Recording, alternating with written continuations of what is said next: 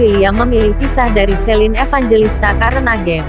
Pasangan selebriti, Stefan William dan Celine Evangelista tengah diterpa isu tak sedap. Setelah menjalani empat tahun berumah tangga kini hubungan keduanya dikabarkan sedang mengalami kerenggangan. Di tengah isu perceraian itu, Stefan William justru memilih untuk berpisah dengan Celine Evangelista. Bukan soal rumah tangga tetapi pemain sinetron anak band itu memilih membuat kanal YouTube baru yang terpisah dari kanal YouTube keluarganya. Seperti apa kanal YouTube baru milik Stefan William? Stefan William dan Celine Evangelista sudah memiliki sebuah kanal YouTube bernama Stefan Celine Family. Kanal YouTube itu berisikan video-video keseharian dari keluarga mereka memiliki 1,3 juta subscriber.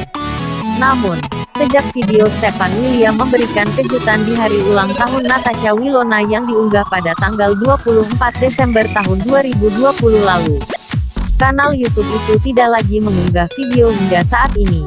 Kini, Stefan William justru memilih untuk berpisah dan membuat kanal YouTube pribadinya sendiri yang diberi nama sesuai dengan namanya. Kanal YouTube yang baru dibuat beberapa waktu lalu itu sudah mendapatkan lebih dari 5.000 subscriber. Hal itu diketahui saat Stefan William mempromosikan kanal YouTube barunya melalui Instagram Stories miliknya. Ia mengatakan akan live dan menjawab beberapa pertanyaan dari para penggemarnya sambil bermain game. Halo guys nanti jam 9 malam gue bakal live di YouTube channel baru gue namanya Stefan William. Nanti gue bakal sambil main game dan kalau misalnya kalian mau nanya sesuatu sama gue nanti gue bakal jawab. Pokoknya kalian harus temani gue live malam ini. Ucap Stefan William di Instagram Stories Kamis, tanggal 28 Januari tahun 2021. Tepat pada pukul 21 waktu Indonesia Barat, Stefan William melakukan live di kanal YouTube barunya itu. Terlihat jika aktor 27 tahun itu akan memainkan sebuah game handphone bernama Mobile Legends. Sambil mempersiapkan game dan live YouTube, Stefan William kemudian menjawab beberapa pertanyaan terutama tentang alasan membuat kanal YouTube barunya. Ia buat channel baru YouTube.